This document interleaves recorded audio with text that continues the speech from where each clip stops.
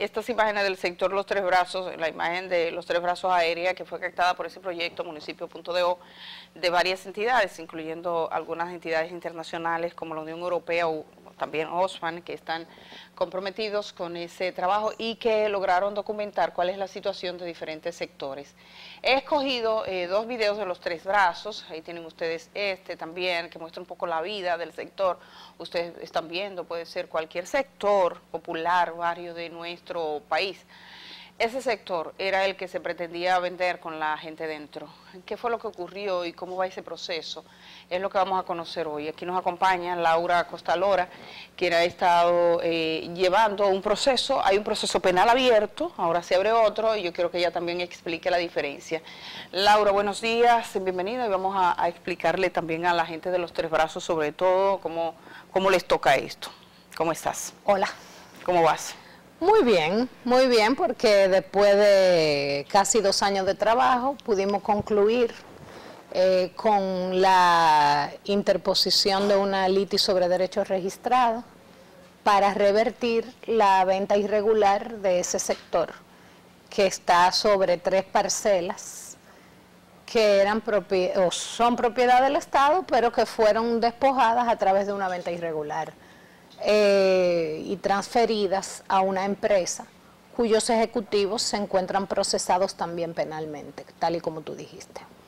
¿En qué consiste ahora este proceso? La diferencia entre los dos procesos. Hay un proceso que ya fue abierto, que fue anunciado por el Ministerio Público y comienza este otro. Bueno, mira, en una operación que realiza una institución pública pueden existir faltas de carácter exclusivamente administrativo que no tienen intención dolosa para lucro propio o de particulares, y hay actuaciones que revisten de, mayor, eh, que ya traspasa la irregularidad y llega al fraude. ¿Qué es lo que el Ministerio Público ha determinado en el caso de los tres brazos? El caso de los tres brazos no se trata única y exclusivamente de una irregularidad administrativa, sino de un conjunto de irregularidades que eh, son catalogadas como fraude por el, por el Ministerio Público, lo cual, con lo cual yo estoy totalmente de acuerdo. Entonces, en virtud de eso, eh, se abre un proceso penal contra estas personas, después de una investigación también muy ardua del Ministerio Público, eh, en la que presentó primero medida de coerción contra las primeras o las 11 personas que aparecían involucradas en principio, los ejecutivos de las empresas que fueron beneficiadas con esa venta eh, fraudulenta, los eh, funcionarios públicos que intervinieron para lograr materializar esa venta fraudulenta, fueron sometidos a la justicia penal, primero presentando una medida de coerción para salvaguardar la presencia de los imputados en las audiencias y en el proceso, y el Ministerio Público entonces continúa su investigación en este momento para, dentro del plazo establecido en la norma, presentar eh, acusación contra las personas que luego de concluida la investigación resulten implicadas, que pueden ser esos 11, pueden ser más o pueden ser menos, dependiendo del resultado de la investigación.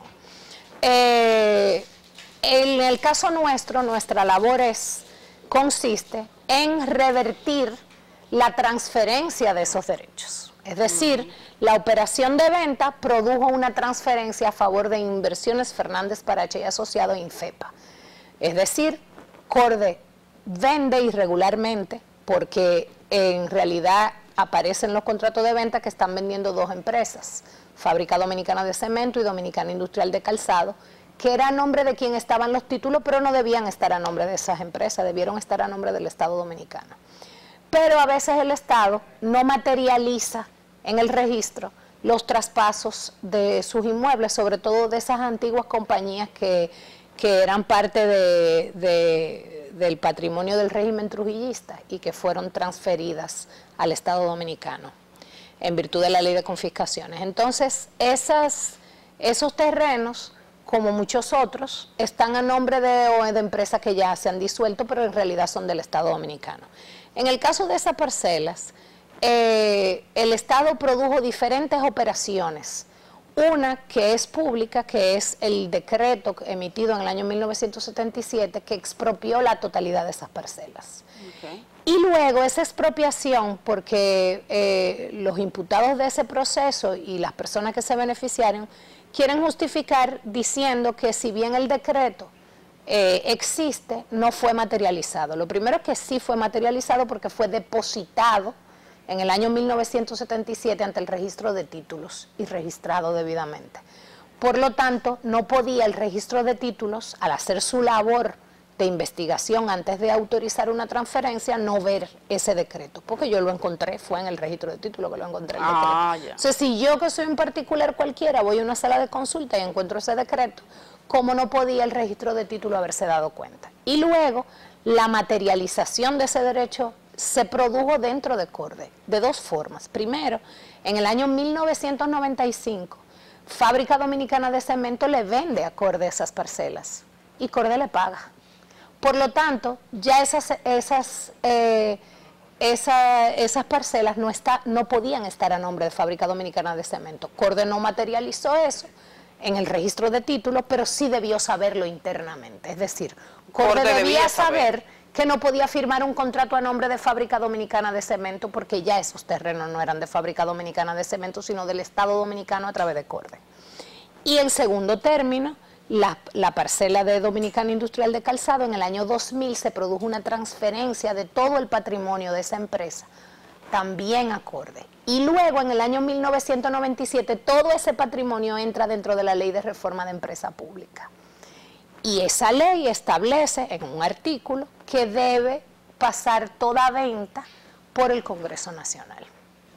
Entonces, eh, eso no se produjo. Y en el registro de títulos eh, del Distrito Nacional, que era el que estaba apoderado en ese momento, porque no había distrito en la provincia de Santo Domingo, no había registro de títulos, al momento de efectuarse la operación, eh, tampoco se percataron, bueno, vamos a decir que sí se percataron, porque empleados de baja jerarquía del registro de títulos observaron el expediente varias veces, diciendo que no podía transferirse. Pero llegó un momento en que alguien tomó la decisión de que sí se transfiriera, a pesar de las observaciones de los empleados que hablaban de la necesidad de la no objeción de la Comisión de Reforma de Empresa Pública y la aplicación de la Ley 141-97. Esa fue la operación en general. ¿Qué es lo que nosotros vamos a hacer en este proceso inmobiliario? Solicitarle al tribunal que anule esas ventas por todas esas irregularidades que acabo de decir y que revierta esas operaciones y restituya al Estado Dominicano el derecho que le corresponde. La, se ha identificado, recordamos que a raíz de este caso, por ejemplo, el director de CORDE fue cancelado por el presidente de la República, fue removido de su cargo. Sí, fue sometido a la justicia. Y sometido a la justicia. Eh, evidentemente, este proceso determina, te pregunto, ¿determina algún tipo de responsabilidad individual o es solo...? No, La, eh, una cosa es la responsabilidad penal. Que esa es la que lleva el Ministerio decir, exactamente, saber si lo que hizo es o no un delito, constituye o no infracciones penales. Eso es una cosa. Y aquí lo que se va a hacer es decirle al tribunal, ¿esa venta es nula o es válida? Si es nula, entonces hay que revertirla y restituirle el derecho al Estado. Si es válida, entonces se valida. Independientemente de si existe responsabilidad penal o no para hacer válida esa venta. Estamos hablando de que esta empresa que eh, llegó a tener la titularidad de una manera eh, eh, que no era legal, comienza un proceso con la gente del barrio y hay gente que incluso está pagando.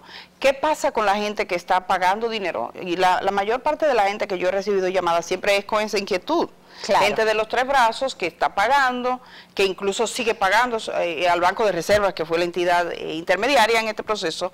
¿Qué pasa con ellos? Bueno, eh, como existe una situación de hecho, que es esa que tú planteas, hay tres tipos de personas que residen en los tres brazos y que la suerte de este proceso inmobiliario les va a llevar consecuencias para ellos. La primera son esas personas que le compraron a estas empresas que pagaron su dinero a esa empresa o bien que están eh, tienen deuda ante instituciones financieras y le están pagando. Ese es un grupo de personas. Hay otro grupo de personas eh, que no le han comprado a esa empresa, sino que compraron con anterioridad a la, venta irregular. Esas personas que compraron con anterioridad a la venta irregular también eh, son otro grupo de personas distintos porque ellos no tenían título, pero sí le habían comprado a bienes nacionales, por ejemplo. Hay un montón de personas que le vendió bienes nacionales en una época. Luego hay otro grupo de personas que no le han comprado a nadie, que fueron atosigados por estas empresas. Eh, eh, acosados para que le compraran a esas empresas, pero ellos se sintieron como medio chivo con esa situación, no entendían bien qué hacía esa empresa en el medio y muchas de esas personas incluso son de las personas que alertaron a la opinión pública sobre lo que estaba ocurriendo. Entonces esas personas no le han pagado a nadie, pero viven en los tres brazos y tienen derecho ahí porque tienen años en ese, en ese sector. Entonces ese, esos tres grupos de personas son reconocidos por el Estado Dominicano como personas que tienen, son reconocidos como ocupantes legítimos de esos tres terrenos. ¿Y por qué decimos ocupantes legítimos? Porque ellos no disponen del derecho de propiedad, propiamente dicho. Pero en un caso le han pagado, pagado mal a una empresa, pero ha sido por culpa del propio Estado. En otro caso, le pagaron al propio Estado, pero el Estado no se ocupó de, de, materializar la transferencia de ese derecho. Y en el tercer caso, esas personas tienen muchos años, el Estado es en, gran parte de los ocupantes de los tres brazos que fue, los fue ubicando en ese lugar y ese barrio fue creciendo y el Estado reconociendo a esas personas, dándole servicios públicos, eh, eh, calles, cancha deportiva, eh, destacamento de policía. Entonces, el Estado debe organizar eso, que fue lo que debió haber hecho Corde, pero no lo hizo. Entonces, sino que prefirió hacer, poner a, una empresa a ganar dinero, a unas empresas a ganar dinero. Entonces, eh, lo que el Estado debe hacer es, una vez restituido el derecho al Estado dominicano, el Estado está pidiendo el CORDE dentro de la instancia que, estamos que depositamos en el Tribunal de Tierra, le solicitamos al tribunal que reconozca los derechos de aquellas personas que el Estado reconoce como ocupantes legítimos y los que han adquirido derechos de propiedad. Y el Estado es el que se va a ocupar de garantizarle a esas personas y a las instituciones financieras los derechos que ellos ya han visto involucrados. Y eso se le solicita al tribunal. O sea que no solamente que el Estado está haciendo una promesa, que después que restituyan los derechos entonces nosotros le vendemos... No, no, no no es una promesa que se le está pidiendo al tribunal para que conste en una sentencia. Vamos a hacer una pausa breve, Laura, entonces vamos a hablar de los plazos, qué se puede esperar, en qué tiempo, y cuándo suele fallar el Tribunal de Tierra y todo eso. Regresamos de una vez para seguir hablando con Laura Costalora.